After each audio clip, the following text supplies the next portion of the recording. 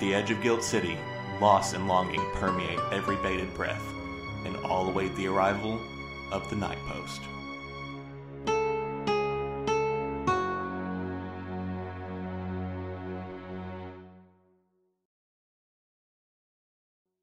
Hold on, where are you all going? Show the new guy his haunt. I would think just one of you could do that, but fine. Make it fast. Get your own routes done by dawn. Always do.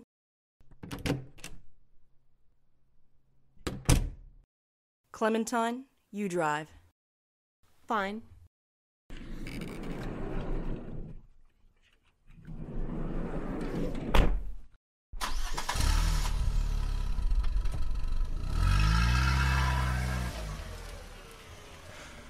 So this is it, huh?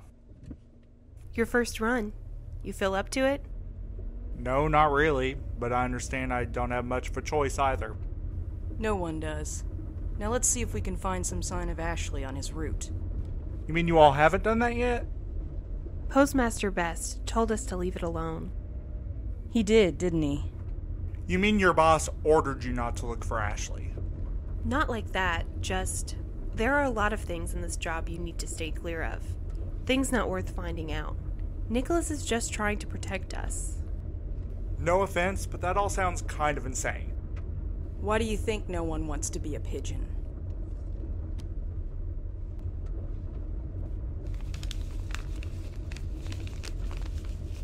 This look like a good one? Speaking of leaving well enough alone, what are you doing? It's a little routine of mine. I read one per shift. You open letters? Do you want to get cursed? Maybe I do. Or fired. Or disappeared. I don't appreciate that. Apologies. No disrespect to the departed.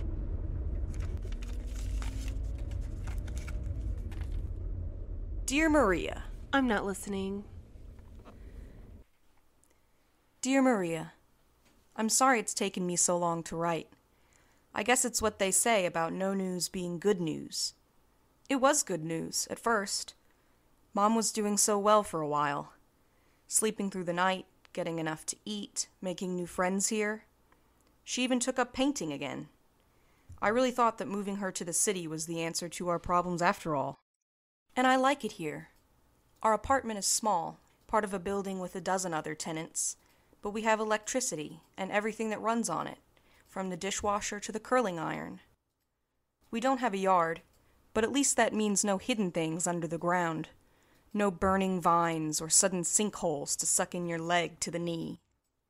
No need to leave salt on the doorstep at night, or burn rose petals when it rains.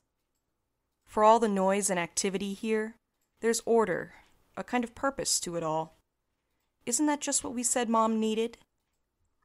A few weeks ago, I was woken by the sound of her voice in the sitting room. Since moving here, I've learned to sleep through a lot. After all, the walls are not very thick, and there are families on either side of us.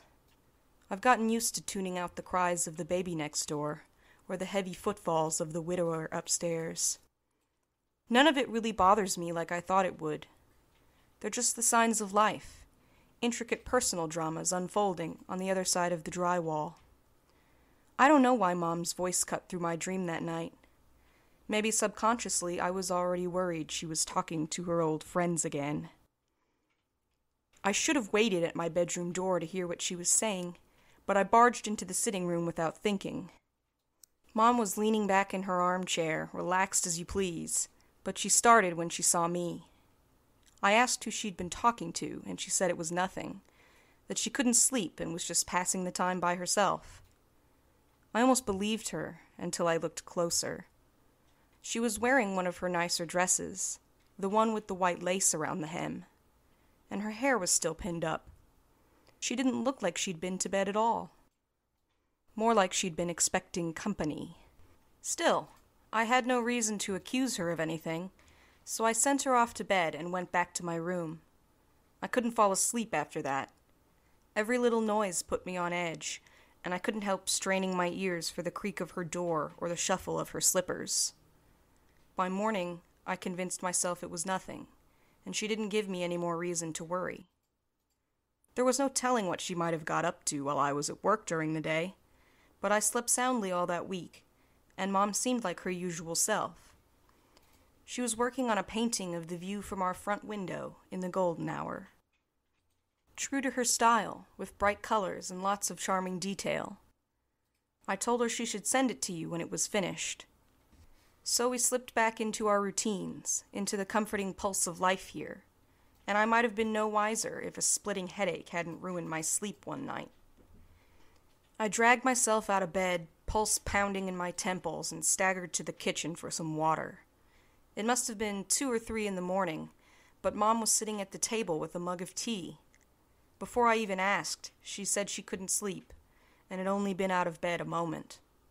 She was in her nightclothes this time, so I didn't question it until I spotted the second steaming mug on the table across from her. Even if she had heard me stirring in my room, she knows I don't like hot tea. When I asked who the second drink was for, she just sipped her own and pretended not to hear me. My headache felt like a claw hammer to the front of my skull by this point, and I didn't want to argue with her. I picked up the second cup to pour it out, but Mom stopped me, saying not to touch my father's tea until he'd finished with it. For a moment, I thought I must have misheard. For all the nights Mom spent laughing or shouting or crying with her invisible visitors, all the times we tried to calm her down and begged her not to let them in any more, I'd never heard her mention Papa among them. But her grim little smile and the way she wrapped her mug in two shaking hands told me that was exactly what she meant. There was a dangerous silence between us then.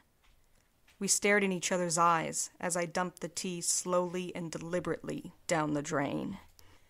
I thought she would try to explain, or at least give me some excuse, but she turned away from me, gazing across the table at the empty chair. Then she pushed her own tea, half drunk, to the other side of the table. She was offering it, I understood, to her guest.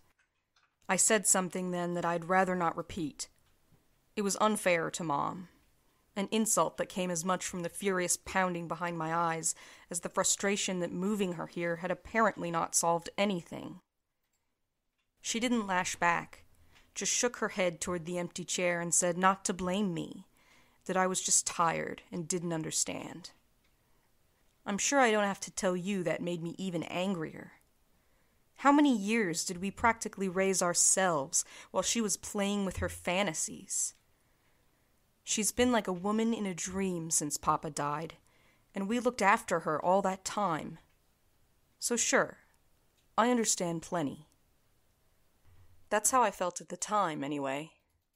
There's no talking any sense into Mom when she's like this, and I'd already said something I regretted, so I decided to just get my water and go back to bed. I filled the mug from the tap, and as I turned, a flash of movement caught my eye.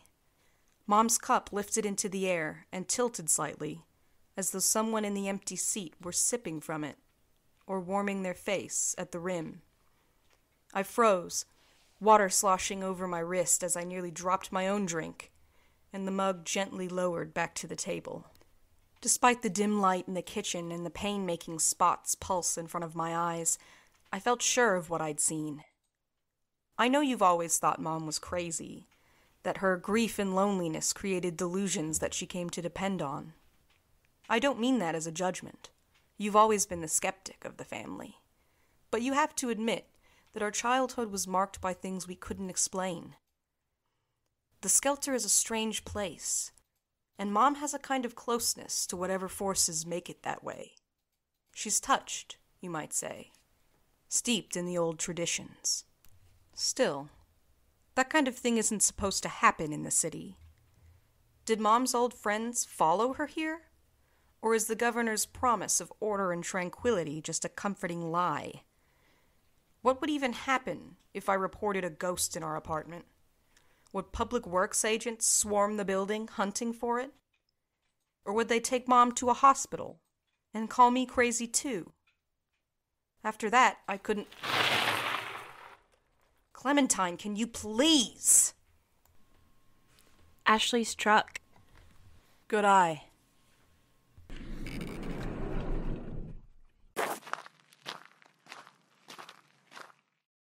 This can't be his. It's been out here way longer than a week.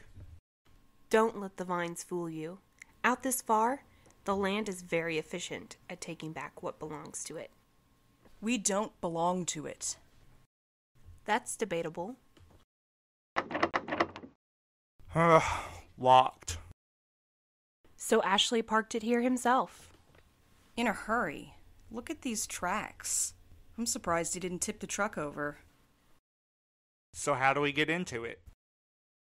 No point. It's empty. Nicholas has a key. He can come get it later. So this is just a dead end? Relax. We're not giving up. He went on foot from here, so we'll follow.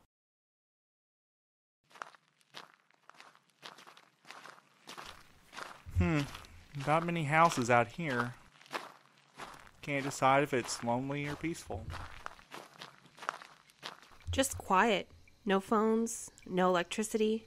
That's why they need the post. Too bad needing us doesn't translate to liking us. Maybe people would like you better if you didn't open their mail. You know, you may be onto something. That letter. Do you have it with you? I thought you weren't listening.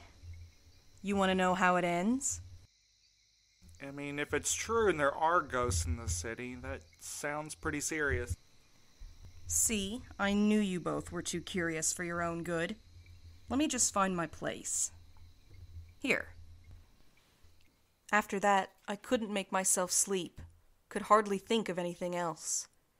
This was different from Mom's usual episodes because she hid it from me. I know she was still talking to it, or them, but she was careful not to let me catch her at it again. A week ago, I came home from work and Mom wasn't there. On her easel was a painting I'd never seen before. Her palette sat beside it, the colors still wet. The tones were dark and the strokes impressionistic, almost gestural, very different from her other work. It was a large portrait, and though the man pictured was older than I remembered, it was unmistakable. Papa. There was gray at his temples, and deep lines around his eyes and mouth. He didn't smile, but there seemed a kind of melancholy contentment in his look. It struck me deeply. I felt, somehow, that this was exactly how Papa would look if he were alive. Mom had painted him with a bright blue aura, a glow around him that tinted his skin and stood out against the dark background. The only other bright spots in the painting were the large pools of light in his eyes, nearly swallowing the irises. I looked again at the palette, drawn by that striking blue, but my attention caught instead on the background color a red so deep it was almost black. A crater appeared in the pool of paint, as though an invisible finger had dipped into it. I held my breath as the white spots in the figure's eyes were carefully daubed over, filled in with dark red. I called out, demanded that whoever was there show themselves, but of course there was no answer. The unseen painter appeared to be finished. Up close, I could make out the faint whorls of fingerprints in the wet paint. When I stepped back, the effect was more dramatic than I expected. Now it really looked like Papa. Not a bright eyed spirit, but the thoughtful, morose man he was. It feels foolish now, but I stood in front of the painting for nearly an hour, calling for him, hoping he would give me some further sign. Maybe he wanted to keep me waiting one more time. Mom came home not long after that, but she seemed different, distracted. I could barely get two words from her before she shut herself in her room. Now she seems to be avoiding me. She goes out at unusual hours and won't tell me where or why. Is she following that thing somewhere? I'm worried, Maria. If she believes she sees Papa, who knows what she might do? Who knows what it might lead her to do? The only thing that scares me more is what if she's right? Please come as soon as you can. If you can't make Mom see reason, maybe you can talk some sense into me. Your loving sister, Alma. Well, that was enlightening. Sometimes it's just nice to know you're not the only one with problems. Disturbing, inexplicable problems. Now that ghost is going to come after you. Guess you'd better steer clear of me then. Wish I could, but we're all stuck with each other until you meet whatever awful fate you've brought upon yourself. Chin up, Milo. I'm sure Ashley's fate was not so awful. And what's the best case scenario? That he's a ghost who wants to paint with me? Good question. If only I had an answer for you. We're almost to the end of his route. Past here is, well, not much. I see something. What's. It's Ashley's mailbag. Don't don't touch it. It's his haunt now. Let him do it.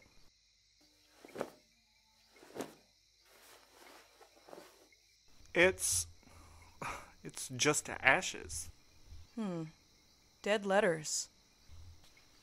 Let's get out of here. We have our own runs to make tonight. Hey, you coming or what? Hmm? Yeah. Yeah, I'm I'm coming.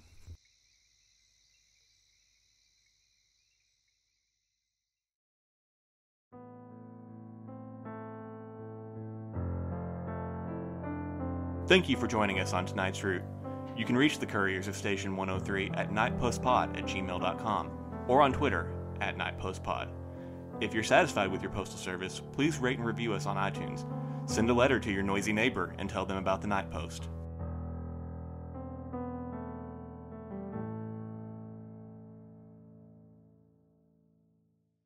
Got a question for you, guilt citizens. What do wooden overcoats, Arden, Girl in Space, and the Night Post have in common? They're all on Apollo Plus. Maybe you already knew that the Night Post has a Patreon, where every month we release a new mini episode that you won't find on this feed.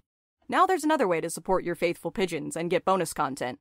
Apollo Plus is a creator owned platform offering ad free episodes, early access, exclusive content, supercuts, and more from dozens of your favorite audio fiction podcasts. In addition to minisodes, bloopers, and early listening from the Night Post, you'll find tons of great stuff from other shows we love on an app that helps sustain and grow the vibrant indie community. 70% of revenue goes directly to creators, so it's a great way to help us keep making the audio fiction you enjoy. You can join Apollo Plus through the Apollo Podcasts app or at apollopods.com. Happy listening!